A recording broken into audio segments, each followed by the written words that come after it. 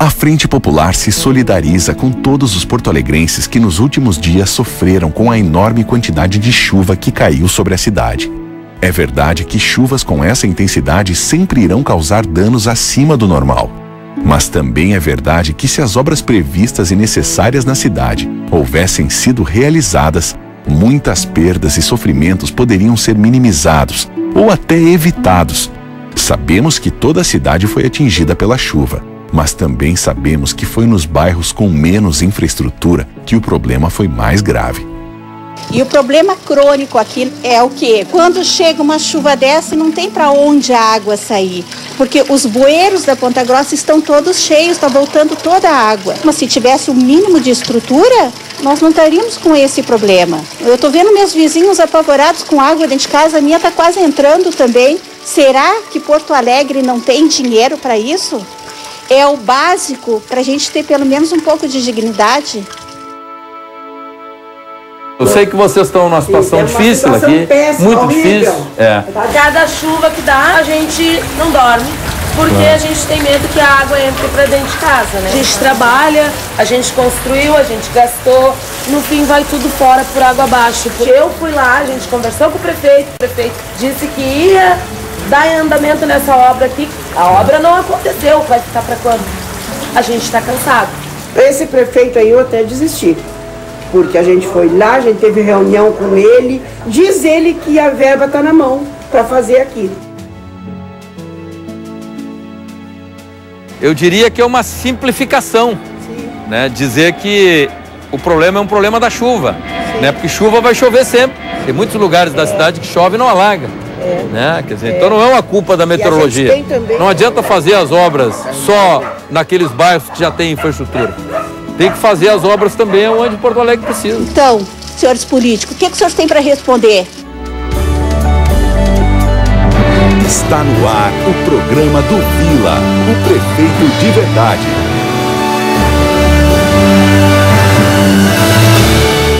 Tenho observado que a vida das pessoas melhorou.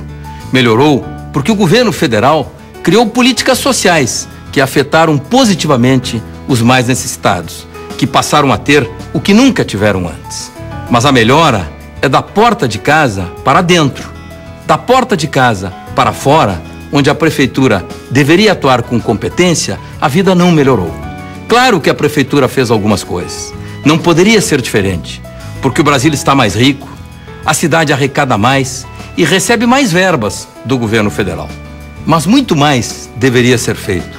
Com os recursos que a prefeitura dispõe para investir, poderia ter terminado as filas na saúde, todas as crianças poderiam ter vagas nas creches, a violência poderia ter diminuído na cidade, muito mais casas populares poderiam ter sido construídas e alagamentos como os que ocorrem em Porto Alegre poderiam ter sido evitados. Mas do orçamento para investimentos que a prefeitura dispõe, apenas 24% foram executados. Isto quer dizer que três quartos dos recursos disponíveis ficaram parados. A vida melhorou sim, mas se a prefeitura tivesse trabalhado de forma responsável e competente, era para ter melhorado muito mais. Vila, será que a saúde aqui em Porto Alegre tem jeito? Para resolver a superlotação das emergências e os problemas das filas nos postos de saúde, eu tenho quatro projetos: o teleagendamento de consultas, a abertura dos postos de saúde até às 22 horas, 300 equipes de saúde da família para cobrir 100% do atendimento às pessoas nas suas próprias casas e a construção de seis unidades de pronto atendimento. Os recursos para realizar esses projetos virão do orçamento do município, do governo do estado e do governo federal e serão totalmente realizados nos quatro anos. Vila, eu queria saber o que, que tu pode fazer para melhorar a educação. O grande problema da educação básica em Porto Alegre é a falta de vagas nas creches. Vamos abrir 12 mil vagas públicas e implantar o um novo modelo de convênio com as creches comunitárias, para que os pais não tenham que pagar. Teremos também um computador por aluno no ensino fundamental e daremos formação continuada aos nossos professores. Vila, O sonho da casa própria é o sonho de muita gente.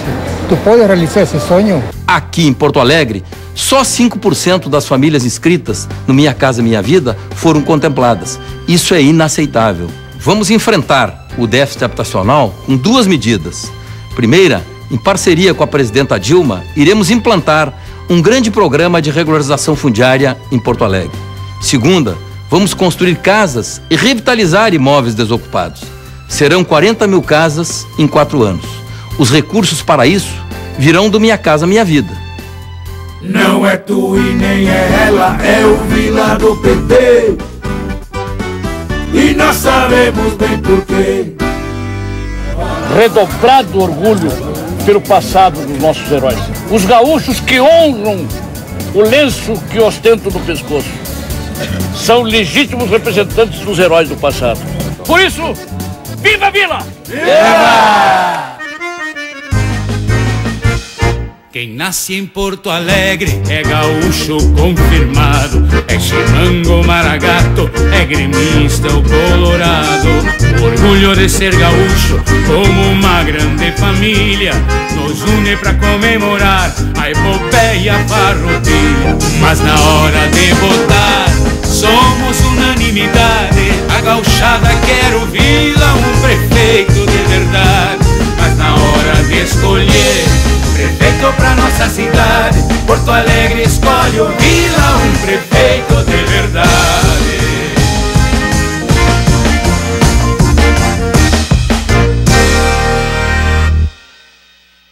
Coligação Partido Social Liberal e Partido Social Democrata Cristão. Renova Porto Alegre. O prefeito tem que ter o comando da educação, da saúde, da segurança da cidade. Vamos ampliar as creches comunitárias, as escolas infantis. Teremos unidades básicas de saúde e delegacias de polícia em todos os bairros. Teremos duas rodoviárias de ônibus da Grande Porto Alegre para retirá-los de dentro da cidade.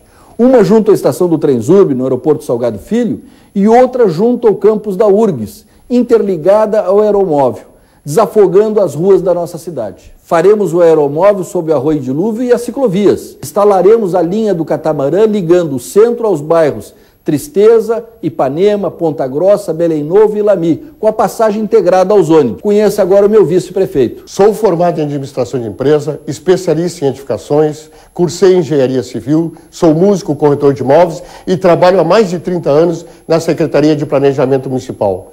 Vamos planejar a cidade de Porto Alegre para 2050, diminuir os CCs, reorganizar o horário do servidor público municipal e valorizá-lo através de um plano de carreira justo.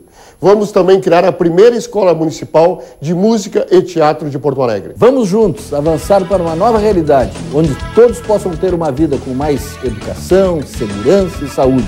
Vem com a gente. Não esquece, dia 7, vote 17. Não esquece, dia 7, vote 17.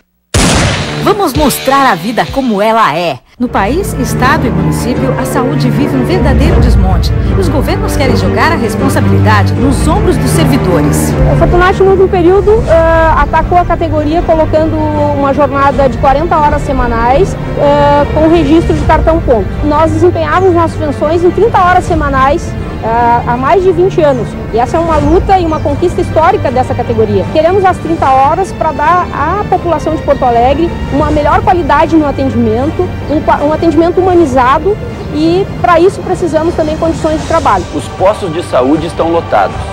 A população sofre sem atendimento.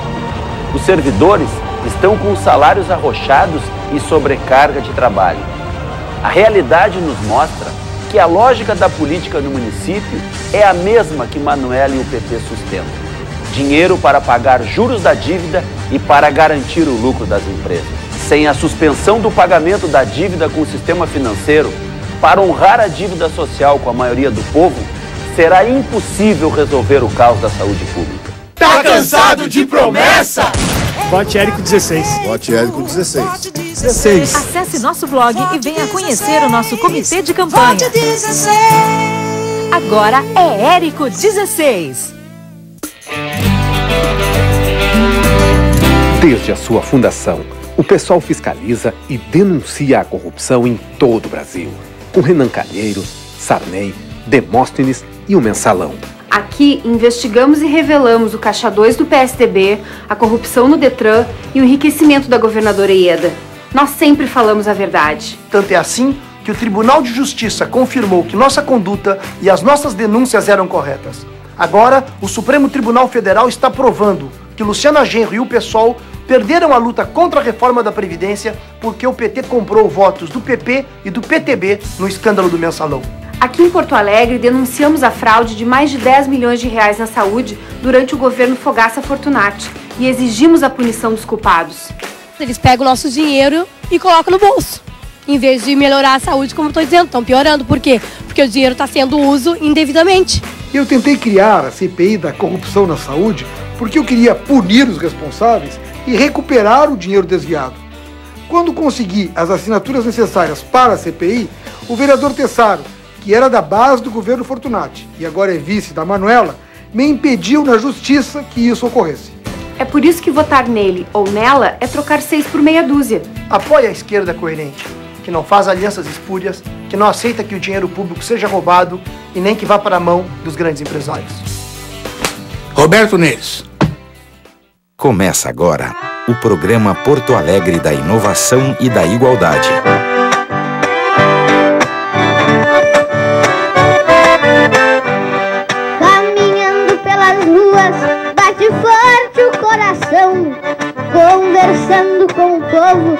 Sobre nossas eleições.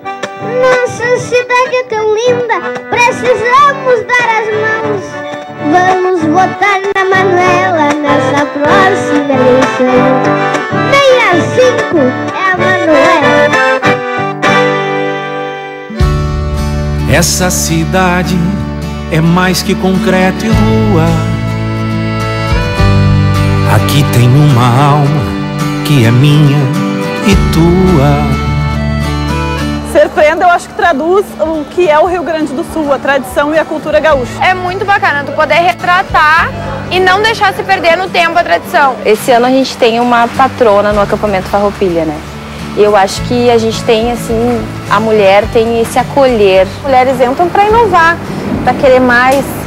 Mulheres não desistem delicadeza e coragem, garra, a mulher gaúcha sempre teve. Andam sempre juntas. É orgulho. Orgulho de ser prenda. Amanhã comemoramos o 20 de setembro, Dia do Povo Gaúcho, lembrar sua história de luta por mais liberdade, igualdade e humanidade. Valores tão importantes que estão escritos na nossa bandeira e que sempre nos inspiraram a olhar para frente para construir as novas revoluções do dia a dia. Lembrar a nossa coragem farroupilha precisa inspirar a prefeitura a enfrentar antigos problemas com garra, determinação e esperança. E assim, transportar a igualdade da nossa bandeira para a vida de todos nós. Anita Garibaldi, primeira revolucionária do Brasil. Elis Regina, primeira voz gaúcha a conquistar o Brasil. Dilma Rousseff, primeira presidenta da República. Lilian Lemertz, primeira estrela gaúcha a brilhar no cinema e na TV.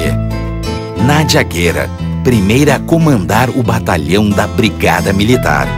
Nilza Lessa, primeira patrona da Semana Farroupilha.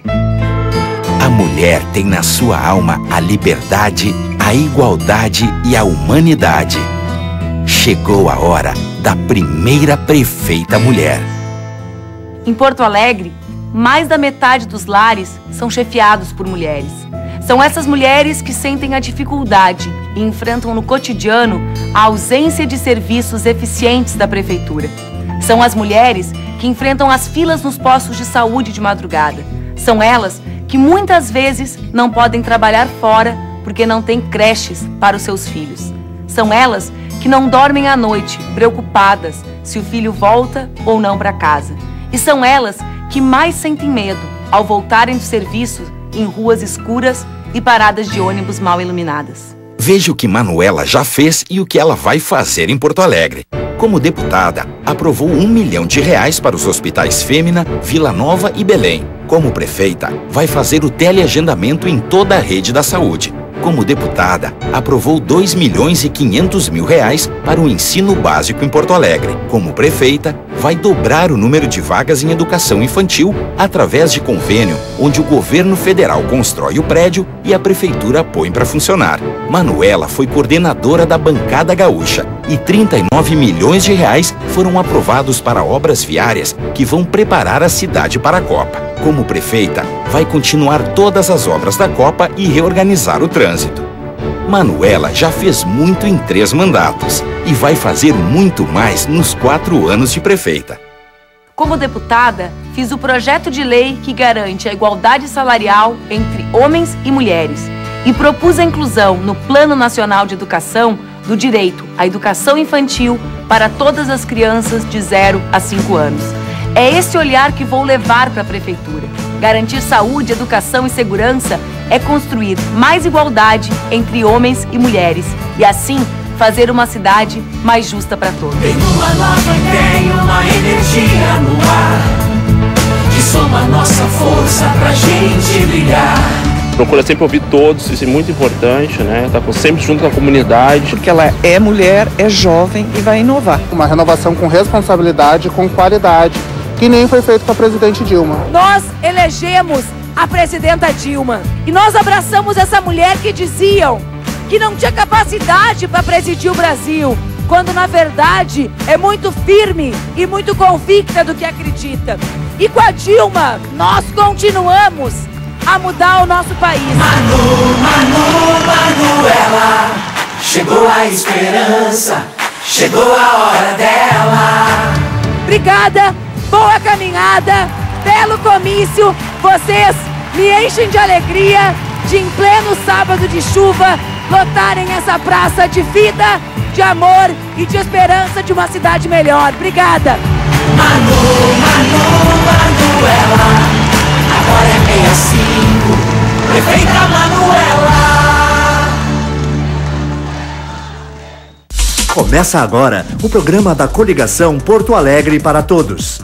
Nasci longe do Rio Grande, mas costumo dizer que eu sou duplamente gaúcho, por amor e por opção. Por amor, porque sempre li a história gaúcha e tinha o sonho de morar em Porto Alegre.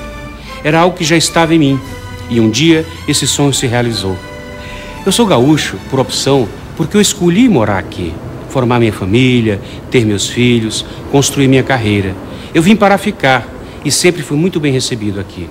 Porto Alegre é minha casa, é o meu lar.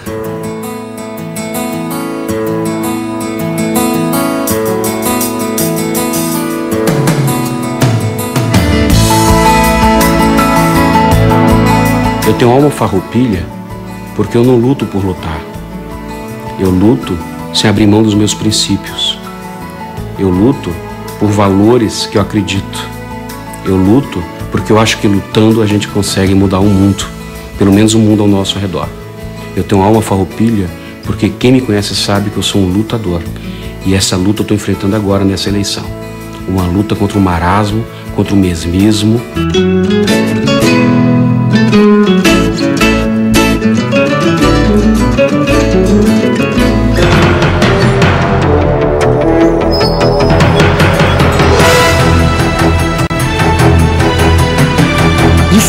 Combina com o hino, nem com a história, nem com o povo do Rio Grande do Sul. 45! Porto Alegre sempre teve posições políticas muito claras. Porto Alegre não se intimida de dar oportunidade a quem quer governar propondo novo, propondo melhor. Já foi assim no passado. É aqui que faço política desde sempre. Nas últimas eleições a presidente, a cidade e o estado deram a vitória ao PSDB. Na última eleição, por exemplo, os porto-alegrenses deram a vitória a José Serra para presidente da República. Foi uma escolha e um recado político muito claro. Foi um sim à política da seriedade e da eficiência. Foi um não a um projeto de poder que, para se manter, não reluta em passar por cima de tudo e de todos. Chegou a hora de dar mais um sim a grandes mudanças que colocam com coragem, autonomia e competência, em Porto Alegre, a pessoa em primeiro lugar. Com Vambert 45 prefeito, o PSDB apresenta uma oportunidade de marcar com mais humanidade o nosso tempo político. Vambert 45, No Rio Grande do Sul, as bandeiras da Revolução Farroupilha seguem hasteadas e os valores republicanos continuam fazendo a diferença. O gaúcho é livre e não abre mão de sua autonomia. O gaúcho é valente e não deixa ninguém mandar no seu destino. O gaúcho é posicionado e não gosta de quem fica em cima do muro. O gaúcho é exigente e não se contenta com pouco. O gaúcho é íntegro e não tolera corrupção nem má gestão. No dia 7 de outubro, Porto Alegre, como capital dos gaúchos, pode reafirmar sua identidade farroupilha e dar um recado ao Estado e ao país. Com o mesmo ímpeto dos nossos heróis, vamos construir um projeto de cidade que renove a política e coloque as pessoas em primeiro lugar. As pessoas em primeiro lugar. Bambete 45. Comigo é assim até debaixo de mau tempo. Eu sou Fortunati. 12 na cabeça. Coligação por Amor a Porto Alegre. 19 de setembro de 2012. Está no ar programa Fortunati 12. Amanhã é um dia especial para nós, gaúchos. O 20 de setembro é a grande celebração da nossa identidade, do nosso amor pelo Rio Grande. Me orgulho de ser gaúcho, de fazer parte desse povo que tem uma história repleta de lutas e conquistas. Me orgulho também de ter sido eleito para representar nosso estado no Congresso Nacional, honrando os votos recebidos e mostrando que aqui se faz política com seriedade, honestidade e transparência.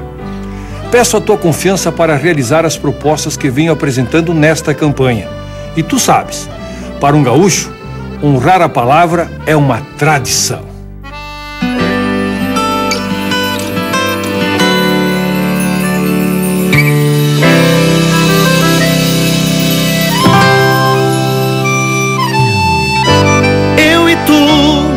Que amamos muito nossa cidade.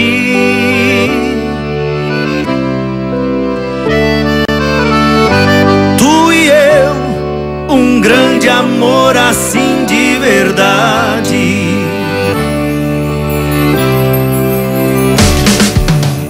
O futuro é a gente que faz no dia a dia.